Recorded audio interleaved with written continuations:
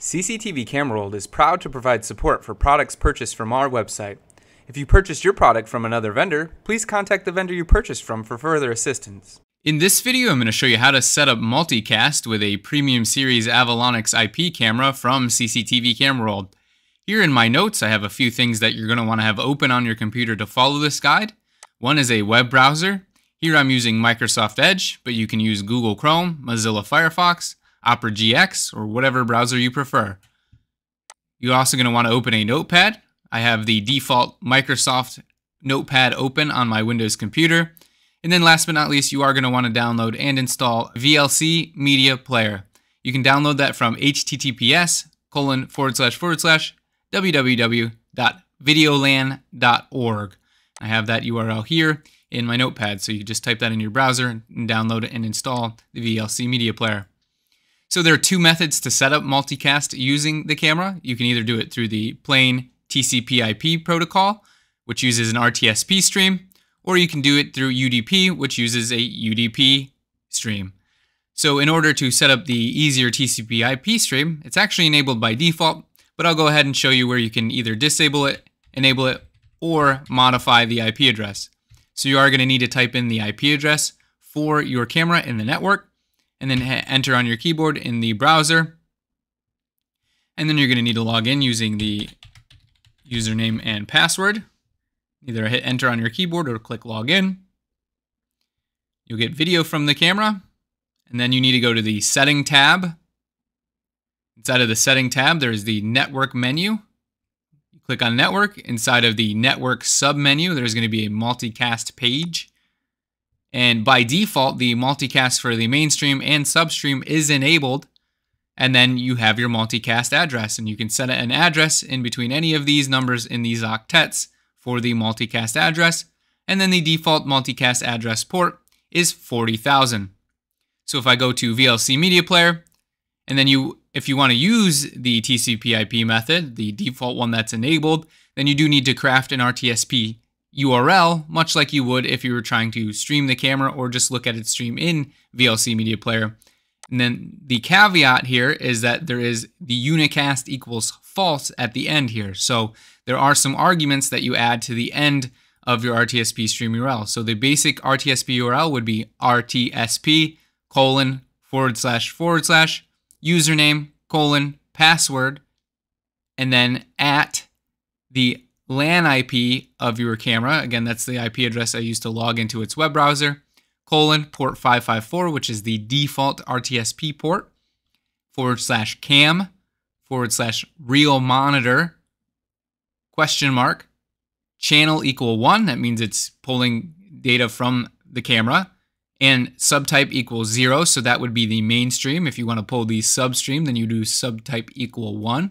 And last but not least, like I mentioned, and unicast equal false. So this means that it's not doing a unicast RTSP stream, it's doing the multicast RTSP stream. So as long as it's enabled, I can come over to VLC Media Player and I need to highlight this and either do Control C on my keyboard or right click and click copy.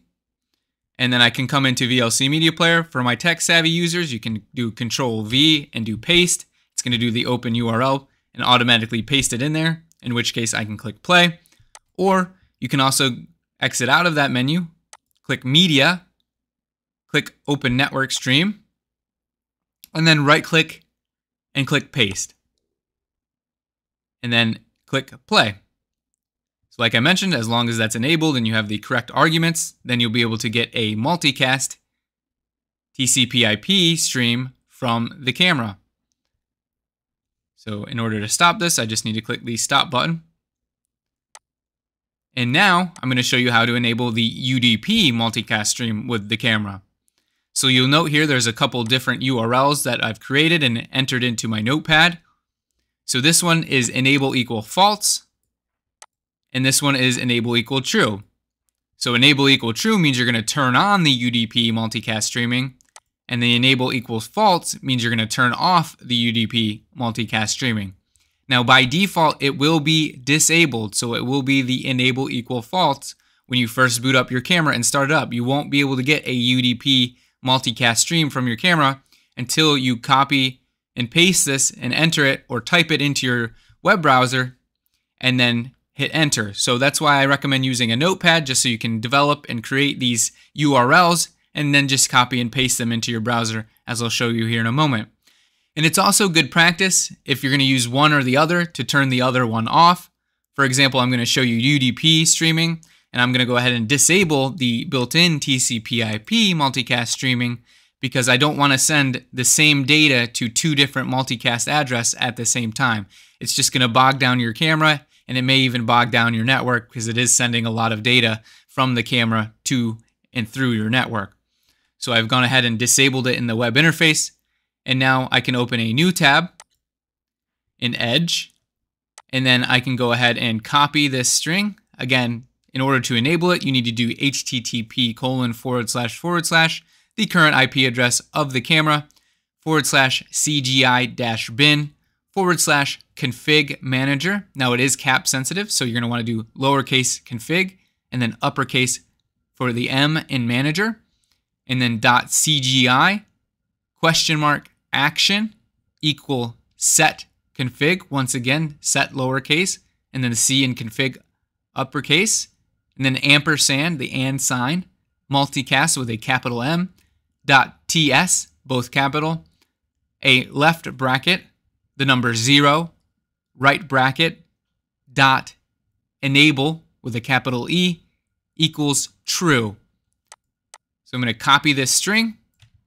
I'm going to paste it into Edge, into the URL bar, and then hit enter on my keyboard. And you're going to want to get a status of OK. If you for some reason get a different status or you get like a 404 not found or a different error, then you want to make sure that you double check your UDP enable URL and make sure that you have no errors in it. And like I said, it may be cap sensitive, so make sure that you uh, pay attention to the caps in the example I have here on my notepad. But once again, you'll notice I got a OK status, which means that the command was successfully sent to the camera. And last but not least, you can also set your multicast address for the UDP feature with this string. And that's just essentially the same thing, except at the end, instead of dot enable, it's going to be dot multicast adder. And that's a capital M for multicast and a capital A for adder and equals, and then um, the multicast address. It does need to be in between the parameters as shown on the web interface for the camera. So it would need to be in between these two numbers and octets to successfully take the command. I've already set mine to this default 224.1.2.4, but I'll show you if I go ahead and copy and then paste this into the URL and hit enter, I'm going to get an OK status. So it's just set that multicast address once again. And then last but not least, just like we did for the TCP IP RTSP stream, we do need to copy and paste this UDP URL into VLC to make sure that our stream is working. So that would be UDP colon forward slash forward slash at the multicast address that you set. The default one should be 224.1.2.4 and then colon 20,000. So for my astute viewers, you may notice that the port number is different for the different streams available to you through multicast. So for UDP, you need to make sure that you use the default port of 20,000. For RTSP, that's 554, or it's using the multicast port of 40,000. So again, for UDP, make sure you're using port 20,000. And then once again, you can copy this, Control C on your keyboard, or right click and click copy and then I'm just going to do Control V in Media Player and then click the play button. So provided that you followed these steps correctly and your network is not blocking multicast traffic for whatever reason, you've set the multicast address and then you're using that address with port 20,000, you should be able to do a multicast UDP stream over your local network. So again, regardless of which method you use, TCP, IP, or UDP, it's fairly simple to get multicast set up on your network with the camera sending video to multiple clients without sending multiple streams through your network. It's essentially just going to send one stream to this multicast address and then allow whatever client you need to access that stream. Hopefully this video helps. Thank you for watching. If you're watching on YouTube, don't forget to like, comment, and subscribe.